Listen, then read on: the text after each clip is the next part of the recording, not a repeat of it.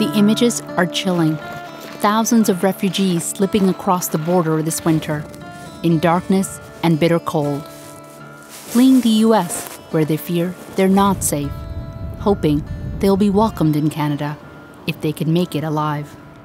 For some, the dangerous journey with little children is too risky. Erica is one of them. She's desperate to come to Canada, but how? No, de que ya no podíamos regresar a la casa porque si no nos iban a matar. What she finally decides to do will be a gamble of a lifetime. It's a big decision and it's obviously risky.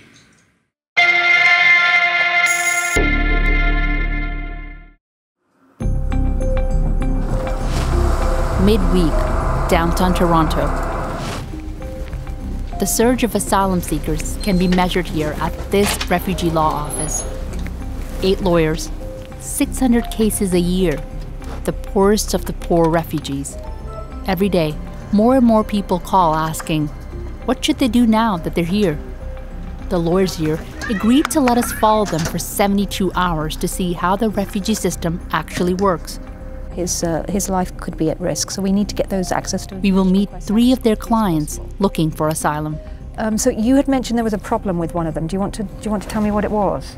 I think one of the biggest misconceptions people have is that uh, it is an easy process, that it's easy uh, to establish that you're a refugee, that it uh, that people come here because it makes for an easy life.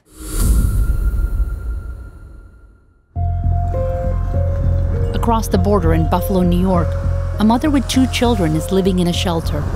Erica shares her story with us on the condition that we protect her identity in case she's sent back to El Salvador. She fears they will be killed by gang members. En una ocasión llegaron a mi casa y eh, me pusieron una pistola en la cabeza, me pidieron cierta cantidad de dinero que les tenía que entregar al siguiente día a la misma hora y yo no tenía ese dinero. And so she fled. 47 days over land through Guatemala, Mexico, Texas, and on to Buffalo. But all along, her ultimate destination and dream is Canada. He escuchado de mucha gente que, que Canadá es un país mucho más humano donde están más dispuestos a ayudar a la gente que tiene problemas en su país.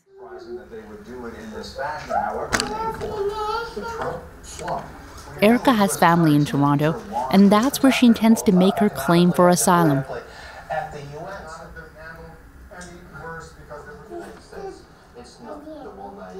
Feeling trapped and desperate, Erica makes a call to Toronto for help.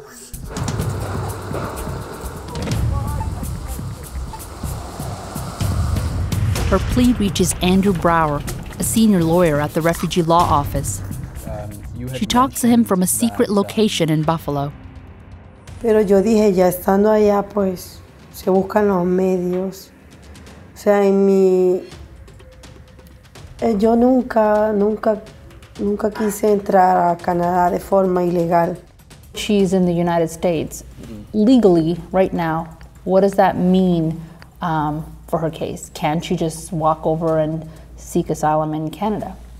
The reality is, were she to now go up to the border, she would certainly be turned back uh, and, and pushed back into the U.S. and denied access to our refugee determination process. Brouwer and the University of Toronto Legal Clinic's Prasanna Balasundaram have her wishes. Please find a way, some way, to get to Canada legally. They reason that if the law says she can't come, maybe the lawyers can work to change the law. We're allowed in on a meeting as they discuss their plan to persuade the Canadian government to pull out of the agreement. I think that the evidence is suggesting that the U.S. is not doing its part, so Canada is breaching its obligations by relying on a partner that's not fulfilling its obligations in the process. So we need to overturn the agreement.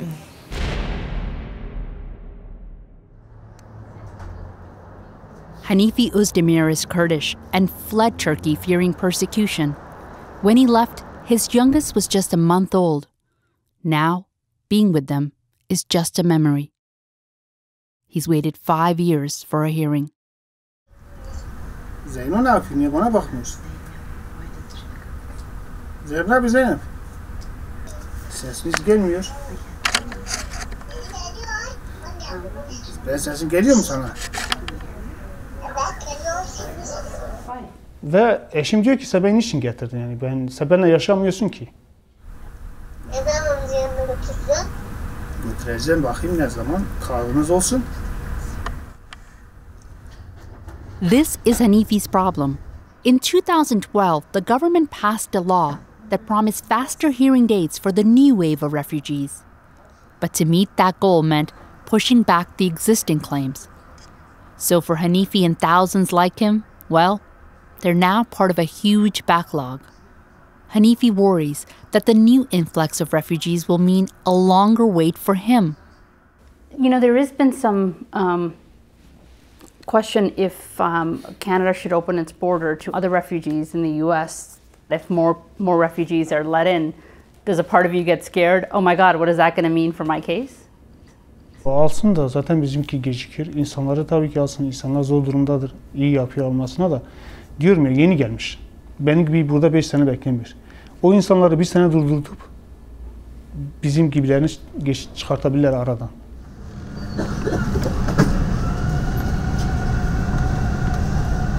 The waiting five years may seem bad. For others, it's worse. Their cases have been rejected. Those are the ones Bruce worries about the most, where deportation is imminent. One client in particular is on her mind. There are people who get deported to, the, to their death because mistakes have been made.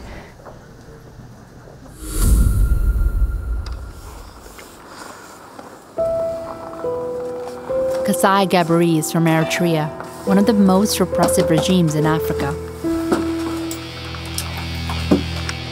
There are only four religions permitted in the country, and Pentecostal Christianity isn't one of them. So he fled to Canada. Here, the Refugee Board denied his claim in many appeals that followed.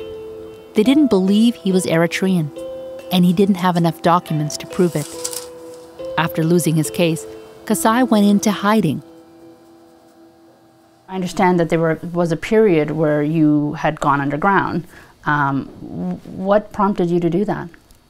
I was very afraid to go even uh, uh, to, to them to send me back. I was thinking that they pick me and throw me in Eritrea. Eventually, he was arrested and put in detention. Decision. That's when he met Catherine Bruce. She's filed a petition pleading his case. And today is the day he'll be told if he can stay. She prepares him for the worst.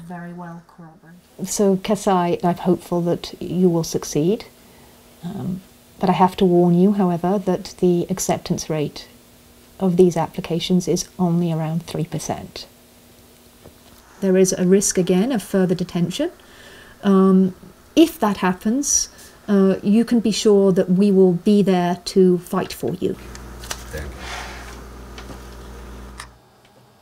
How do you make the determination that someone doesn't just have a fantastical story about persecution, but they're not actually in any danger, versus someone who is truly a refugee? There are facts that you can check and cross check. In the end, the decision maker will have to determine whether the account has the ring of truth about it. You know, the critics um, listening to this would say, wait a minute, are you saying that someone who has lied in some way in their application should still be allowed to stay in Canada? You don't kill people because they lie. Simplified. Desperate people sometimes have to resort to desperate measures. For example, Jewish families here today in Canada who, had they not, had their family members not lied, had not found a way out during the Holocaust, they would not be here. So I think we need to be very, very careful about saying that just because somebody lied, they're not deserving of Canada's protection.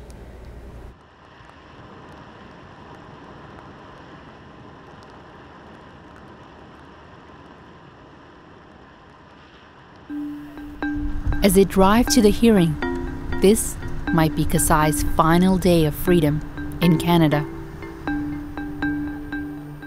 Where? 93 in the gate. 93.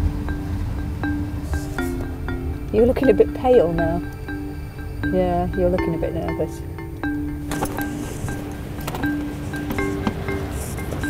Okay.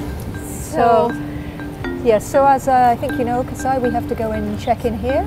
Yeah. And then they'll take us to uh, another uh, room where we will be given the decision. Okay. When the decision is made, we will hopefully, we will both come down and hopefully we'll see a happy uh, Kasai. Um, the worst case scenario would be that you don't see Kasai because he's been detained. When we come back, we learn Kasai's fate.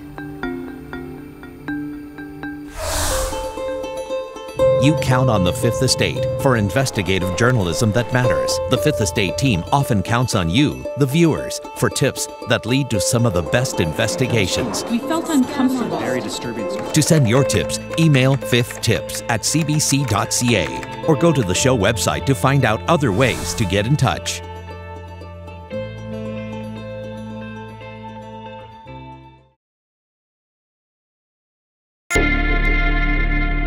And this is the protection of the nation from foreign terrorist entry into the United States. We all know what that means. The fallout of President Trump's immigration policies has been chaos and fear. Many refugees anxious about their chances in the US are looking up north in Canada for a solution. But why cross by walking in the freezing cold? This is why. In 2002, Canada signed a deal with America. The deal says wherever a refugee lands first, Canada or the US, that's where they'll have to make their claim. The supporters of the agreement say it is meant to prevent asylum shopping by refugees. But here's the problem the way it was written, it only applies to official border crossings. So, in a strange twist, those who sneak into Canada can stay, and those who try to come in legally are turned away. Canadian immigration minister says he has no plans to suspend the agreement. Refugee lawyer Andrew Brouwer strongly disagrees. Closing your borders means closing your eyes uh, and being complicit in people going back to places where they're being persecuted and tortured. There are somewhere in the range of 11 million undocumented people living in the US right now. Is there a possibility that these 11 million people could come knocking at our door and uh, make a claim? Realistically, okay. we're not going to get 11 million undocumented people from the U.S. Well, people are to, worried about to, that, of right? course, of course they are. Um, but practically speaking, the vast majority of people, as I understand it, who are in the U.S. living without documents, they're not refugees. They don't fit those very narrow parameters of the Refugee Convention. Brouwer thinks the United States isn't safe for refugees. He wants to use Erica, the woman from El Salvador, as a test case. He shares the plan with Erica, who is currently in Buffalo hiding. He wants her to try to enter legally, and once she's rejected, he'll put his plan into action. And we could ask a judge of the court to stop Canada from pushing you back into the US. But there's a risk that the plan can also backfire. And you could be returned to the US right away. And of course, being pushed back to the US after having been denied formally by Canada puts you and your daughters at risk of being jailed. The team leaves it to Erica. So it's a it's a big decision and I don't want you to even consider making that decision right now. But it's it's obviously risky. I wonder if you guys can ask Erica what part of it is the most scary for her. ¿De qué tiene más miedo en este momento? Pues el temor más grande es que, que me regresen a mi país porque porque temo por la vida de mis hijas y por la mía. Erica's next move could change Canadian law, but either way, it will change her life forever. Being at the office, it's clear that the refugee system doesn't just take a toll on the clients. When people have told you things that they have never told anybody in their life before, when they really are in danger and they're not heard, and their plea for compassion is not heard, that keeps me awake at night. What would you say is the hardest part of your job? Losing. I mean, honestly, the stakes are enormous. Uh, and so the wins are fantastic, and you you know you realize that you've had you've played a small part in people getting to safety or bringing families together. That's that's wonderful. But losing cases, um, as as great as winning is, losing is just horrific, and it, that that can be haunting, for sure. Do you take it personally? A little, yeah, of course. I mean, if you invest, uh, then you're invested in, in the wins and the losses. Yeah, no, for sure. And you, um, you need to find ways to, to cope with that. But we should stop because I'm going to. if there's more you want to talk No. I just wanted a second not to cry, that's all. well, what, why do you think you're going to cry?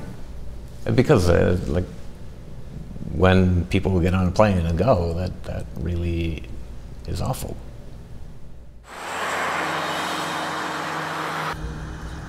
Back near Toronto's Pearson Airport, we wait outside the immigration office. Eritrean asylum seeker Kasai Gabre is here to learn if he can stay in Canada. Hi. Hi. Smile. We have a smile, yeah, yes. How did it go? It goes good, really. What happened? Good. Uh, I think they accept my humanitarian and uh, uh, pra. Which is great. He's been approved in principle, which is fantastic. He Yeah, has uh, permission to stay here now. But Very it's anyway. Overall, it's Yeah. fantastic news, right? Thank you. and you thank should have seen him, Thank his face in there. He was just like so delighted. Finally, Yeah. after the, after, almost 12 years. Yeah. yeah, it is very fantastic, really. I'm very happy. What are you thinking? Uh, now? Yeah. Mm, I don't know, nothing. you know, I'm happy, really, because uh, I was hanged, nothing to do, you know. Even if I work, I was not working with a full heart.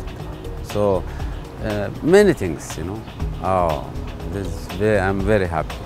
What are you going to do today? Today, I won't take you somewhere else. I will invite you. Yeah. Great. Really? You must be. Yeah. It's the nicest part of doing Yeah, this work. really, Fantastic. I'm very happy. Congratulations you. and welcome to finally legal status Yeah, in Canada.